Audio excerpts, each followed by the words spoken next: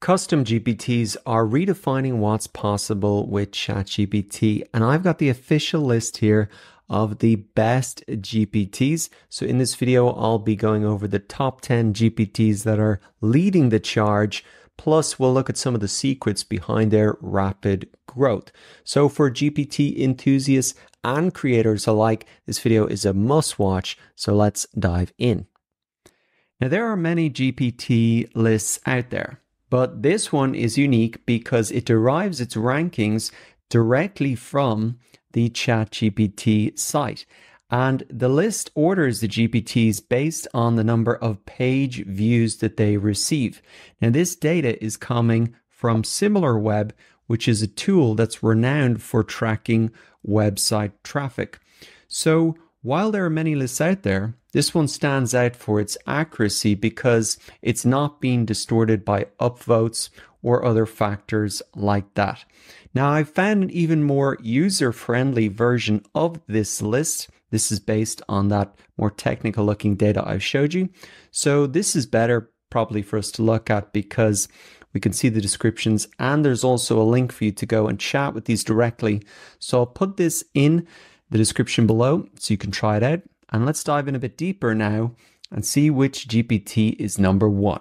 So, what's the number one custom GPT and what are some of the secrets behind its rapid growth? Well, if we take a look at the list here, we can see that at the top, it's DALL-E, which is a GPT created by ChatGPT. And if we move for even further down, we can see all of the top 10 are actually GPTs created by ChatGPT itself. But the first number one custom GPT is Canva. And really, this is probably no surprise.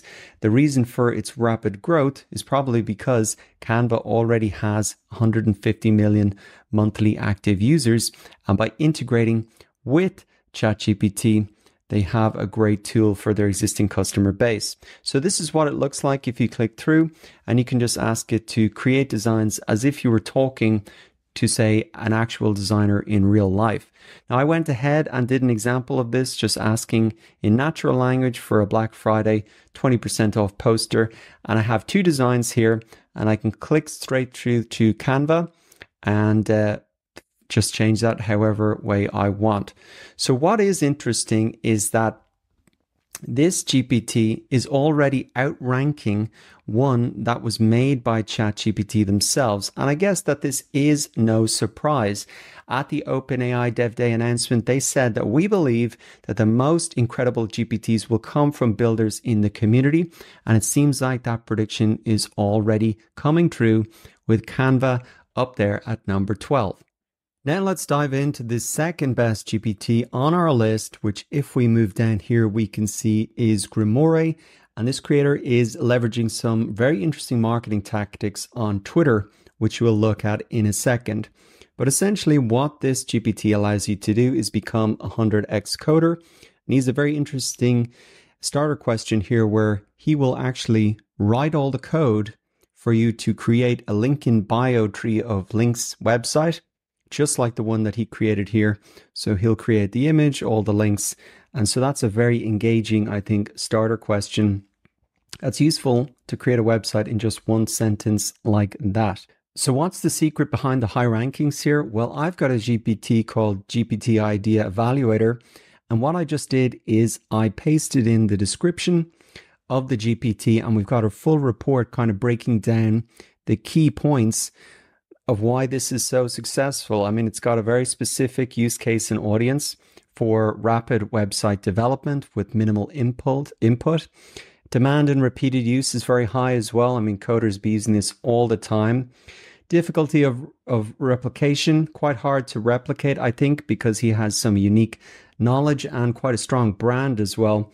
And also, this is probably a great uh, GPT to make because of the monetization potential here with high usage, GPT store revenue is probably going to be good, but also affiliate links to web hosting or domain registration services. I think this this could be a hugely valuable uh, GPT to this creator. I think that broad appeal and usefulness is part of its success, but I think the other big reason for success is the marketing that the creator Nick Dobos has been doing And you can see that he's created a sort of character here. And I think he's just animating these with Runway ML. You can see that this got over 2.1 million um, views, but he's constantly giving updates on how his GPT is doing, how many users it's getting, and he's just creating like inst- making the whole thing interesting for even uh, anybody to follow along with his journey. And he's sort of doing this build in public marketing strategy on Twitter, which seems to be extremely effective. Even talking about things like how he's kicking Laundry Buddy's ass, which is one of the GPTs that was made by ChatGPT. So if you want to test out your own ideas, I'll put the link to this in the description below. And uh, now let's move on to number three. Now, number three on our list is Research GPT, which has seemingly come out of nowhere. But this is actually a GPT from an established company and it's really a search engine that allows you to find uh, research papers. So if we open this up, we can see that there are over 200 million academic papers to search from. And they have a great starter question here Does creatine improve cognition? So if you type that in or click on that, you'll see a res- result like this, which uh, really shows you the links to all the scientific papers uh, saying if that is true or not. So why is this so popular? Well, I popped it into my GPT idea evaluator once again. And here we come out that it's got, again, a very distinct and specific use case with a very clear target audience, like researchers, students, academics, or professionals in various fields. And there's very strong demand and, and repeated use for this.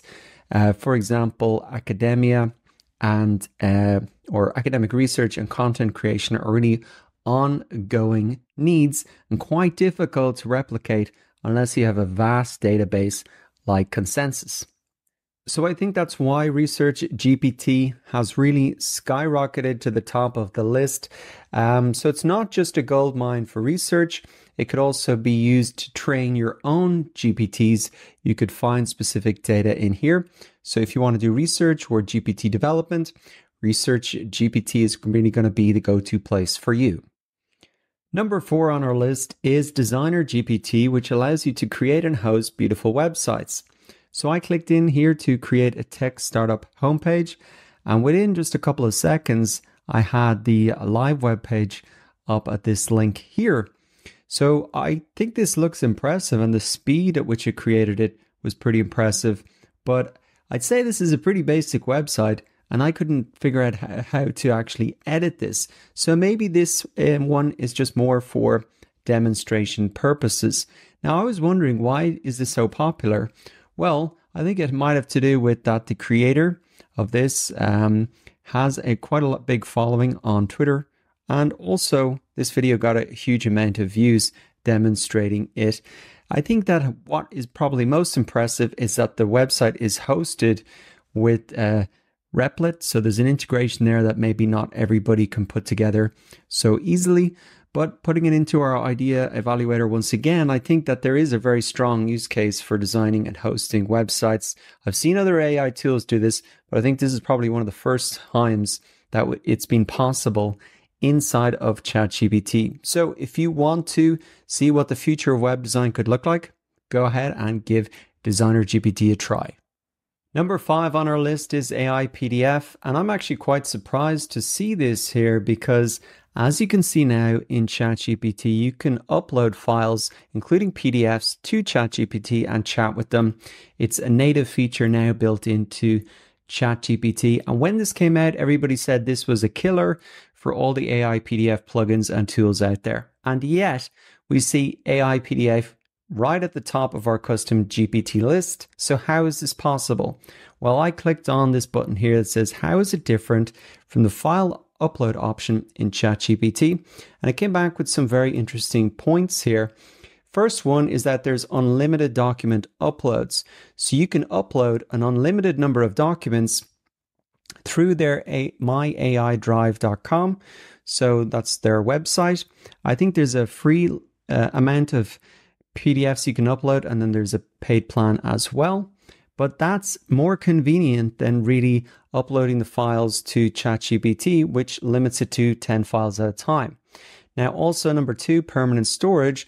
So you can upload your documents one time to this uh, My AI Drive and they'll be stored there all the time. Whereas with ChatGPT's file upload, you need to re upload for each new chat session, which can be a bit inconvenient. Also, they have more efficient document management and ease of referencing and sharing. And for example, you can easily share links to specific documents or pages within a document, which could be very useful for collaborative work or when seeking assistance. So I think this is a very interesting example of how they've built more user features on top of an existing feature in ChatGPT and still remaining relevant. So I popped it into our G- my GPT idea evaluator once again. And I think the reason for this popularity is that there's just a huge demand for summarizing and managing large PDFs. That's professional students, researchers, etc. And very high demand for this because people struggle with this and there needs to be tools to manage all of this quite hard to replicate this as well because you need a specific integration with a platform to really manage all these files. And so I think obviously got good monetization potential because of that free and basic plan there as well. So if you want to deal with multiple PDFs and collaborate with them, then give AI PDF a go. Now, number six on our list is Mr. Ranedeer, and this is a bit of a head scratcher to be honest. Uh, it says it's an AI tutor, but when I clicked on language Chinese, it just wrote back to me in Chinese, which is not very helpful at all. I don't understand Chinese, so how am I supposed to learn it? Well, things started to change when I explored and clicked on this option here to I want to learn special relativity. And I'm starting to see the appeal of this despite the seriously random name for this as well. Well, what it does now is I said I wanted to learn special relativity, and it listed out a kind of course of prerequisites that I would need to go through and the main curriculum. So this is almost like a curriculum that you get in a university. And if you want to start the lesson plan, you click start. So there's an interactive element here. And then we get into the main lesson to really kick things off. So I think that's quite interesting. It's not something I've seen before. It kind of hooked me in there quite a lot when it laid out the full curriculum, and then it was going to guide me through it uh, lesson by lesson. Now, right now, ChatGPT cannot remember your conversations, but that memory feature is coming soon. So I think an AI tutor like this could become extremely valuable and perhaps even replace universities because you can pick up your conversation right where you left off. So I think that's probably the appeal of this and why it's becoming so popular. I did look up the creator, which uh, links is linked um, from the GPT, but he's got a pretty small following, and there's no big video that really uh, got a ton of views promoting this. Now I popped it into the GPT idea evaluator once again, and I guess it does have a great specific use case. Personalized tutoring is across various subjects is really the promise or what it could become. And uh, yeah, education is that perennial need. There's always demand for it. And there's going to be a lot of repeated users as people go through different subjects. So if you want to see what the future of education and tutoring can look like, then check out Mr. Ranedeer. Number seven on our list is AI GPT, and the popularity of this is probably no shock considering the lucrative and trending nature of these skills. So, this is essentially like an AI tutor, and I just clicked on what's the difference between AI and machine learning, and we get an explanation here.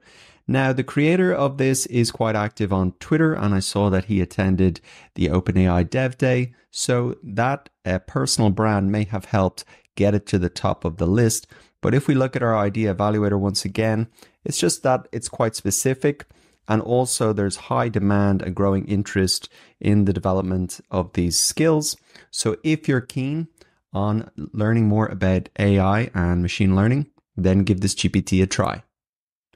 Now, number eight on our list is Nomad GPT, and this allows you to become a digital nomad and find the best places in the world to live and work remotely. So I've just asked it, I've got a thousand dollars, where can I live as a nomad?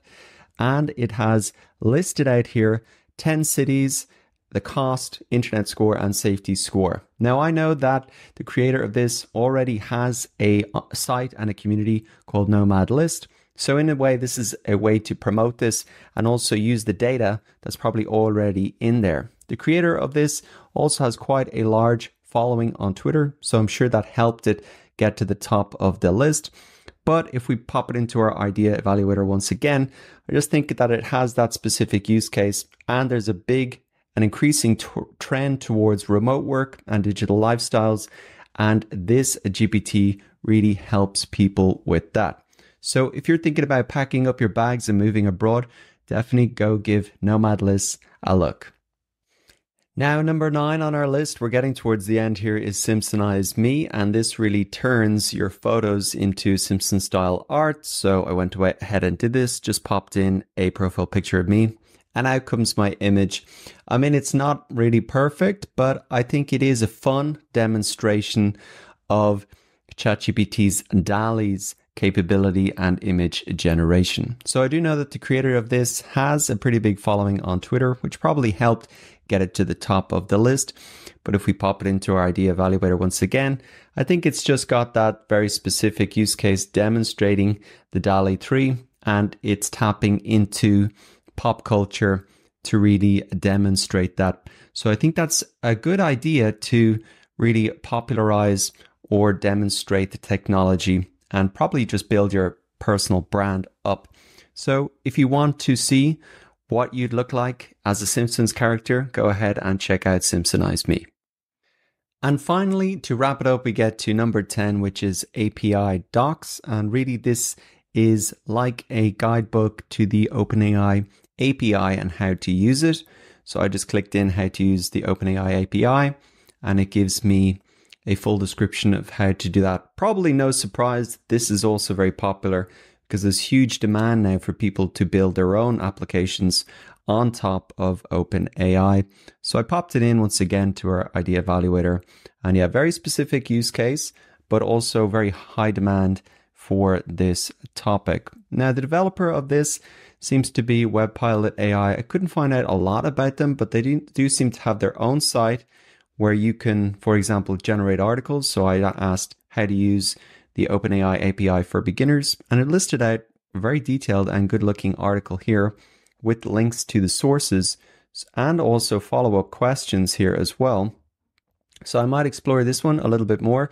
It looks useful, but if you want to learn specifically about the OpenAI API and how to use it, then check out the API Docs GPT today. So, what do we learn by looking at the top 10 GPTs? Well, I think we've found some pretty cool GPTs to play with, but also it seems like having an existing user base or a custom data set has been a key for many of these to get to the top of the list. However, marketing seems to be a pivotal element as well. And most of that seems to be happening on Twitter from what I have observed. Now, remember that this field is still in its infancy, and I expect a lot of changes in these rankings. So make sure to subscribe if you want to stay in the loop. I'll probably do a video on this in a couple of weeks. Now, if you're interested in creating your own GPTs, then you can join our community. We're all building GPTs in here and sharing marketing tips so we can climb that list together.